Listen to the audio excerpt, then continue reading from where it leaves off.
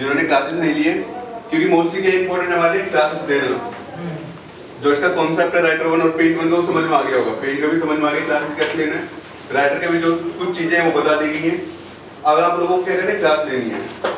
जो चीज़ छूट गई है वो मैं थोड़ी सी बहुत करा देता हूँ फिर इसके बाद वीडियो को स्टार्ट करेंगे ठीक है?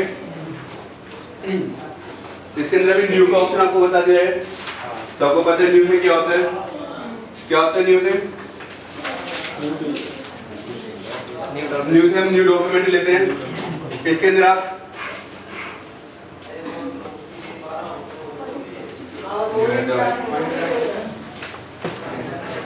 देखिए, आप एम एस ऑफ़िस अगर कोई दूसरे आप सॉफ्टवेयर यूज़ करते हैं तो उसमें अगर न्यू लेते हैं तो आप पेज यूज़ कर रहे हैं। जैसे कि आप एम एस वर्ड यूज़ कर रहे हैं पावर पॉइंट यूज़ कर रहे हैं तो आप जब न्यू पेज लेते हैं तो वही पेज आता है। इसके अंदर आप सा इसमें एडवांस फीचर्स दिए हुए हैं कि अगर इसके अंदर आपने कोई, जैसे न्यू आपने न्यू पे क्लिक किया तो उसके साथ आप, ये जो टेक्स्ट डॉक्यूमेंट है, ये दे सकते हैं, इसके साथ में अलग कोई दूसरे भी डॉक्यूमेंट आप ले सकते हैं। आपने नोटिस किया होगा, जब हम न्यू पे यहाँ पे क्लिक करते हैं फ़ाइल पे जाके न्यू पे जाते हैं, हमारे पास ये डॉक्यूमेंट्स है तो हम इन नए डॉक्यूमेंट्स को भी आप अलग से आप देख, जैसे कि आप मान लो राइटर पे काम कर रहे हो, आपको यहीं से आपको किसी दूसरे डॉक्यूमेंट पे काम करना है। आपको पावर पॉइंट कोई स्लाइड्स बनानी है तो आप यहीं से आप मतलब इसको फ़ाइल को क्लोज ना करके मिनिमाइज ना करके आप फ़ाइल मेन्यू मेन्यू में से जाके आप उस फ़ाइल को उस डॉक्यूमेंट को आप ले सकते हो। सर वो फ़ाइल इसको सुपरइम्पोज कर देगी वो फ़ाइल इसको सुपरइम्पोज कर देगी जो खोलेगी इसके बराबर में आएगी कैसे हाँ? वो मतलब जैसे कि एक बार करके दिखा दें जैसे अभी ये फ़ाइल है क्लिक करिए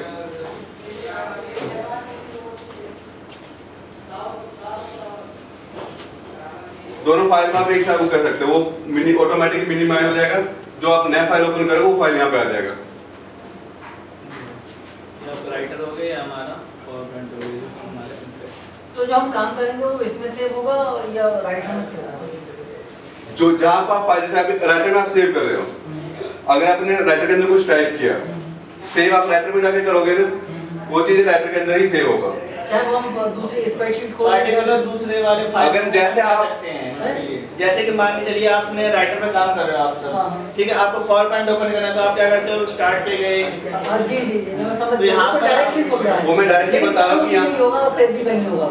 हाँ वो जिस फ़ाइल को आप यूज़ करोगे अगर राइटर यूज़ कर रहे हो राइटर के अंदर सेव कर रहे हो राइटर का ही अंदर सेव होएगा। अगर आपने पावर पॉइंट यूज़ किया है पावर पॉइंट के अंदर सेव कर रहे हो जो भी आपने डॉक्यूमेंट टाइप है जो भी आपने इमेज इंसर्ट है वो पावर पॉइंट के अंदर सेव होगा। मतलब जहाँ सेव कर रहे वो फ़ाइल उसी के अंदर सेव होगा। ये नहीं कि आप राइटर पे काम कर रहे हो यहाँ से आपने न्यू फ़ाइल ओपन किया और पावर पॉइंट ले लिया। अब आपने कुछ भी चेंजेस किया वहाँ पे आपने काम किया और उसने यहाँ पे सेव कर दिया। तो वो चीज़ इसके अंदर जो राइटर है उसके अंदर नहीं होगा। वो हाँ। उसी फ़ाइल में होगा। ठीक है? अगर आपने यहाँ पे ओपन करा ओपन से आपको पता है क्या होता है? क्या होता है ओपन से? कोई भी फ़ाइल जो आप पहले से सेव किया हुआ है अगर उस फ़ाइल को आप ओपन करके देखना चाहते हैं तो आप ओपन की मदद से आप कर सकते हो। इसके लिए shortcut command control plus O होता है जिसकी वजह से आप अपनी सेव की हुई फ़ाइल या किसी दूसरे की फ़ाइल को भी आप ओपन कर सकते हो। जब आप क्लास कराओगे ये सब जब आप क्लास कराओगे तो बेसिकली आपको क्या है, आप ओपन से पहले, मैं अपना मतलब पर्सनल बता रहा हूँ कि एक्सपीरियंस कि अगर मैं बच्चों को अगर राइटर कराता हूँ फ़ाइल मेन्यू कराता हूँ तो ओपन कराने से पहले मैं उन्हें सेव कराता हूँ फ़ाइल को। पहले मैं सेव करना बताता हूँ। वो उनकी फ़ाइल सेव रहेगी, तभी तो वो फ़ाइल को ओपन करेंगे। तो मैं क्या करता हूँ, ये फ़ाइल को, ये ये ऑप्शन को पहले स्किप करके, पहले मैं सेव ऑप्शन कराता हूँ। उनसे फ़ाइल को सेव करा के, उनको फ़ाइल क्लोज करा के, नया डॉक्यूमेंट ओपन करा के, फिर अगर मैं ऐसे करवाता हाँ। हूँ ठीक है? सेव और सेव एज में क्या डिफरेंस अभी सर वहाँ पे आ रहे हैं अभी वहाँ पे भी आ रहे हैं। अभी पहले ओपन कर लेते हैं। ओपन का समझ में आ गया? कैसे करते हैं ओपन एक बार मैं यहाँ पे दिखा देता हूँ। साथ में आप लोग भी प्रैक्टिस करिएगा।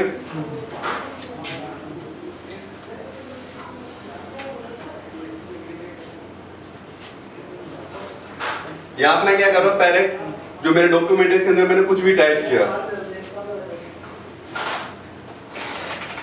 ये मैंने टाइप किया।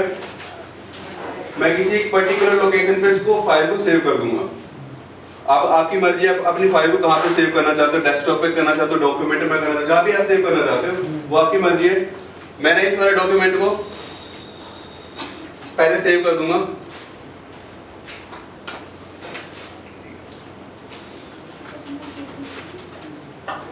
एक मिनट जब आप सेव करते हो आप लोग पेंट में भी फ़ाइल को सेव किया होगा। पता होगा जो यहाँ पे ऑप्शन ये दिखाई दे रहा है इसको क्या बोलते हैं? ऊपर वाला हाँ ये जो ऊपर वाला जहाँ पे डेस्कटॉप लिखा हुआ है।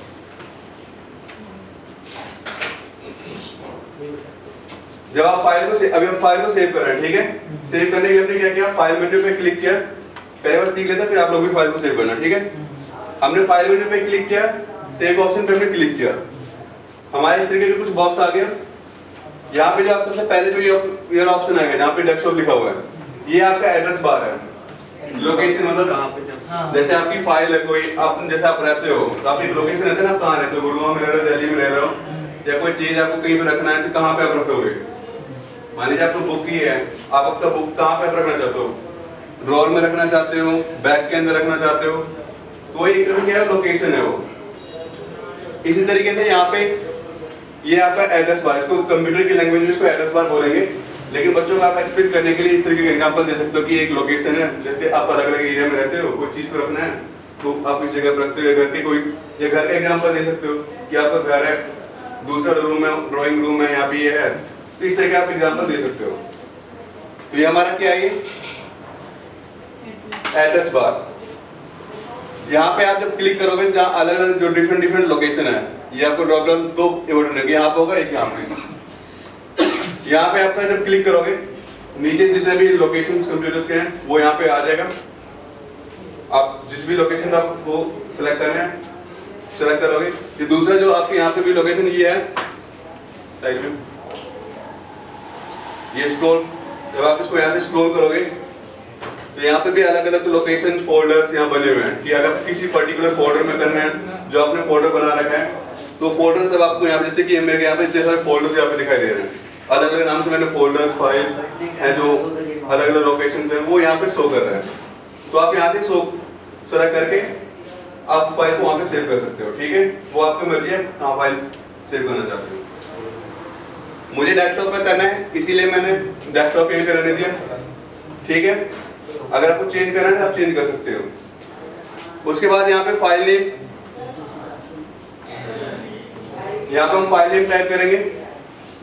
जिस नाम से भी आपको फ़ाइल सेव करनी है वो हम यहाँ पे नाम लिखेंगे और फिर सेव पे क्लिक कर देंगे। लेकिन यहाँ हमारे ओपन शो ओपन शो कर रहा है सर आपने ओपन मेन्यू पे क्लिक किया है ओपन सब मेन्यू पे क्लिक किया है।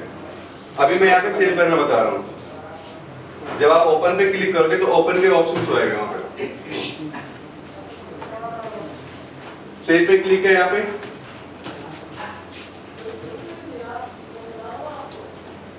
तो आप देखोगे जो मेरी फ़ाइल है वो मेरे नाम से यहाँ पे सेव हो गया।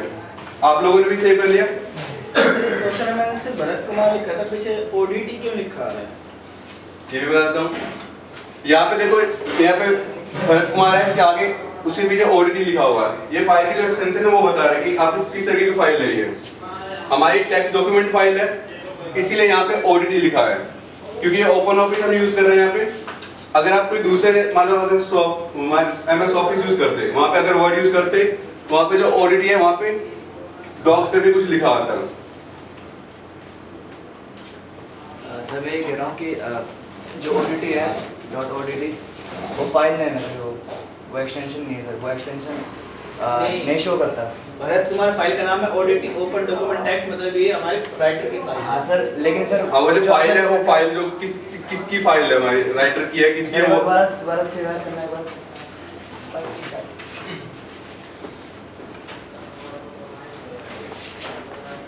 अभी सर ओडीटी से हटा दो सर फ़ाइल नेम से। बस डॉट डॉट ओडीटी